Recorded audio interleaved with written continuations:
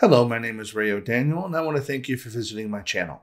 We're going to continue with our video series on high level features. In this video, we're going to be covering blogs and what that entails in regards to high level. Before we get started, if you could please smash that subscribe and like button for me, would really help me out. As well as if you are interested in purchasing high level or signing up for high level, I do have an affiliate link in the description below. It would greatly help me out if you could use that whenever you sign up. I do get credit for it. Thank you so much for that, and let's get going. So, blogs have been around for a long time, almost as long as the internet has been created. But High Level has just recently introduced blogs within about the past year into their software. Now, High Level has always had websites and funnels, but they've never really had blogs. Now, this particular blog is outside of anything related to WordPress. I do want to make sure you understand that this blog is not inclu- it's not a part of WordPress. There is a whole separate WordPress series. If you'd like, you can watch my other video on uh, high level and how WordPress is integrated. That's another video on this channel. But for this purpose, uh, the blog is simply an independent entity that exists that you can connect in with your existing website to be able to provide blog articles. So Right now, what I'd like to do is kind of give you a demo, how that works, how you would set it up, some of the features, and sort of how what it takes to get um, a blog article created, and then how to connect that to an existing website. So let's dive in. Here we've got our practice account inside of High Level. One of the first things that we're going to go to is go down to the sites area. Now, notice we have funnels, websites, and then blogs. Blogs is that nice little new icon because ultimately the feature is relatively new. Now, as far as websites go, the Complete Massage and Spa website is where I'm going to be connecting this. But before we can actually get something connected to that, let's go ahead and get a blog post created first. So we're going to go to blogs. And we're going to, um, without having a blog article created from scratch, you're going to get this particular screen. It's going to tell you sort of, you know, you're going to need to use the blog post list. This is an element that they give you, uh, I'm sorry, that High Level gives you to be able to add those posts onto your page. So we'll get to that when we get to how to set it up in High Level. But for right now, let's go ahead and create our blog post. So here, this particular screen deals everything with uh, search engine optimization. So this right here is all of your SEO metadata, if you will. So right now, if you will give me just a second, um, I've got some of the information pulled up in uh, just a document here. I'm going to copy and paste this to save us some time. So in this one, I'm going to uh, call this clinical deep tissue. I'm going to go and give it a featured image, um, and um, I've already uploaded the image here. Now, this alt text is important. Basically, what this means is that if the image for some reason can't be displayed, then the website will actually display a series of text along with that. For SEO purposes, it is a good idea to fill this in, something related to um, what the article is about or your keyword.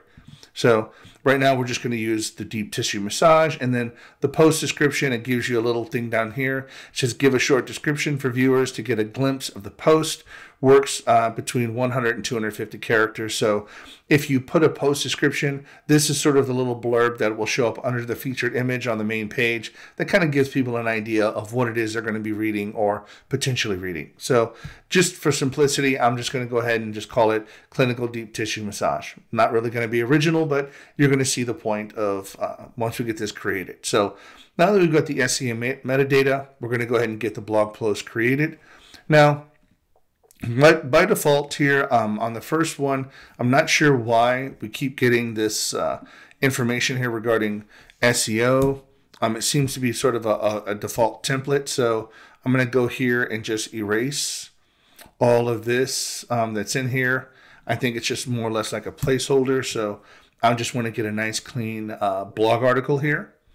Now, whenever we do this, I'm going to go ahead and I've already got the body of this. It's not going to be a long blog article here. Uh, give me just a second to just post this in. Now, if you wanted to, um, you can sit back and do everything that you would normally want to do. Notice that this is paragraphed.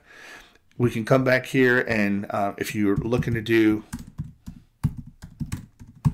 I'm going to just put this in and here we can actually, if we wanted to, switch this over to make this more of a headline, like an H1 or H2 tag. Now, um, right now, we'll just go ahead and make it an H1 tag so it's bigger. and um, and that's what we're going to be dealing with here. So you can go and edit and format it like you normally would. You get a pretty standard toolbar to adjust the fonts, the size, the placement. Over here, you do have the ability to put in links, images, and videos and things like that over here as well. So you can make it a rich blog article. But for this purposes, I'm trying to keep it simplistic uh, just so we can kind of get through this, show you how the mechanism works, and then you can make a more complicated post uh, later. So here we're going to go ahead and click continue once we get uh, our title, which is up here, and then the body of the blog article here. We're going to click continue. This is where we start getting into some of the deeper issues of the blog article post. So here, the URL slug. What this slug is, is basically going to be the URL or path name to your particular article.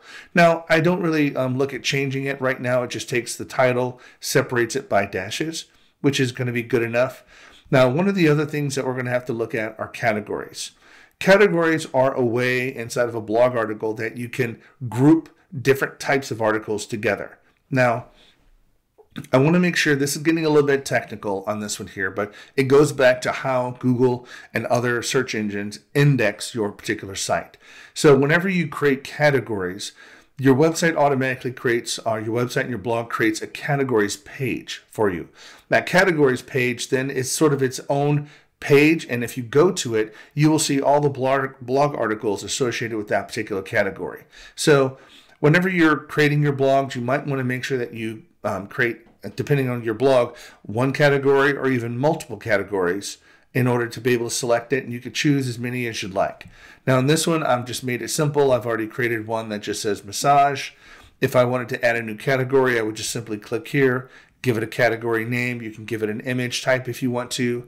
But you will need this um, category URL slug. You will need to give the category a name on this one. Uh, now, for uh, for this purposes, I've already created it, but I just used the word massage. Of course, I didn't type that right. So this is the, the slug that I, I've already used, and that's what I've created with this category here. Now, keywords.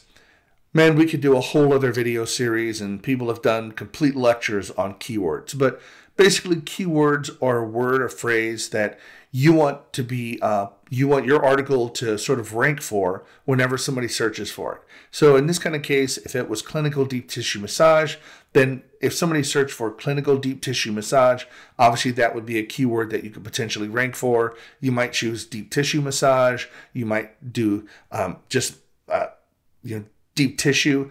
There's lots of other keywords that you can put in there, but you can add as many keywords as you want here, just separated by commas. Um, now for this one, we're just simply going to put in the title name. I'm here. I believe it's still up. Nope, wrong one. So I'm just going to put in um, this particular keyword here just to have something.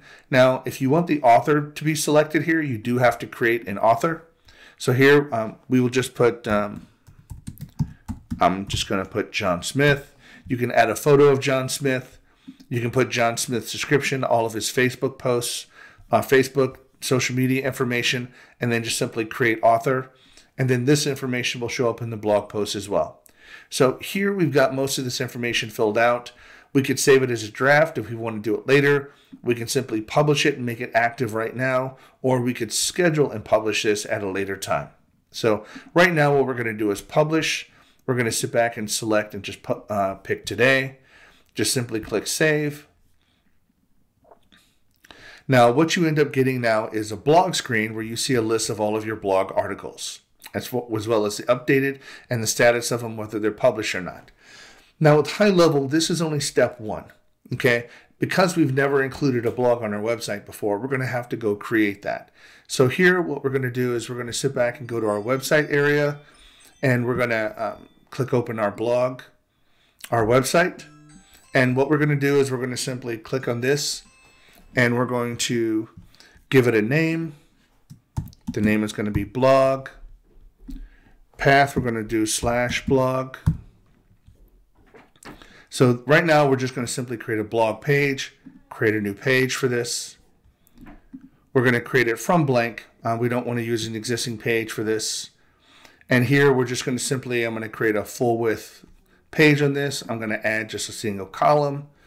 And then in the elements, I'm just going to choose a headline. and I'm just going to make the headline just say blog because that's all I wanted to do is just simply say blog. For this, I want to sit back and scroll down and get a divider. So we can add a divider, just make it look nice and pretty. And then what I want to do is scroll down here and one of the main elements that have been added is this blog post list. So we're going to click on this and now we have a list of blog um, articles that will automatically pull up. Over here we can select whether it's standard or compact. We can add what category we want this involved to. So we can put, if we want this just added to the massage category, um, for those purposes we can simply add it. We can add the pagination, meaning how many articles are going to be on a page before we have to scroll to the next page. So you can adjust that if you want to to make the articles bigger.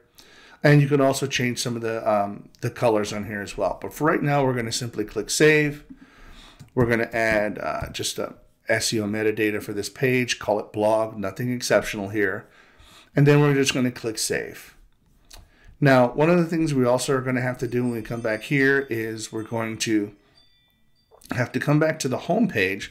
Now that we've got the blog article created and saved, we're going to have to come back to the home page and we're going to have to update the navigation. So here, when we click on the navigation, we're going to come down here and add a menu item. So we're going to add an item and we're just going to call it blog. Now, instead of going to a website, we want it to go to a page and we're just going to select our blog page that we just created. And then we're going to, we don't want this to open up in a new window. So we're just going to click submit now, notice that blog is all the way over here. I'd like to move it a little bit here, um, right next to between home and membership. So I'm going to move that up and then move that over to where it's at the main menu. And then I'm going to simply click save. Now here, we've got everything completely set up and going. We've created our blog post. We've now created our blog page. We've created the, the blog menu option so people can access, access it on the website. So here we're going to simply click preview, come up here and then select blog from our list. And notice that here's the, um, here's the article that we just created. We can simply open it up and see our complete uh, uh blog article already listed here. And that is how the blog articles work with high level. Now, moving forward, you won't have to create the blog page because it's already been created, but you will just need to create more and more blog articles. The more articles you post, then that will populate this area on your blog page, and that should be all that you need to go, uh, need to do. So I hope you found this useful. Hope you can uh, take this and run with it. Again, thank you so much and have a great day. Hey, I want to thank you again for visiting my channel and give you one more little thing here. If you are interested in high level and getting some additional high level training, please see the link in the description below. I do have a free course I'm offering that covers everything related to high level and gives you all the information that you need to know. Thank you so much and have a great day.